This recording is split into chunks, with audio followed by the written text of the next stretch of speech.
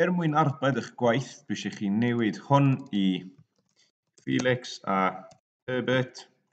Wedyn, ydych chi angen mynd i File, Download to your computer.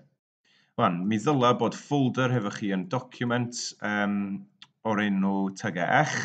Dwi eisiau chi roi o yn tagau eich, crewch folder arall, scratch os oes angen. Open. A wedyn, save. Okay? Gwnewch yn siŵr bod chi'n arbed eich gwaith.